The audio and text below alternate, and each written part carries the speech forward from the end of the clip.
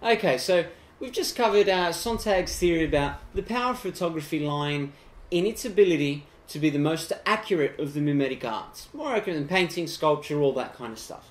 So it convinces us that we're looking at the truth. Yeah, that's what we've got. Cool. All right.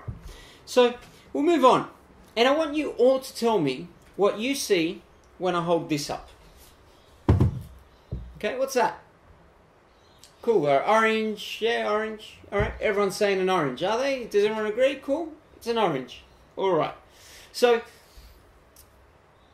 if you had never seen or touched or smelt or tasted or anything an orange in real life, and then I showed you this photo, would you then be able to say you knew what a real orange looked like?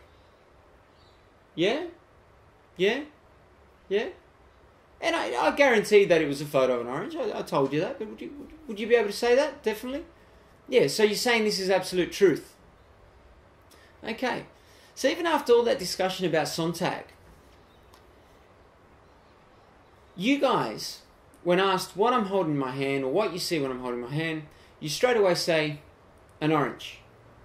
Why did no one say that I'm holding something else in my hand? What else am I holding in my hand? Well, actually, what am I holding in my hand?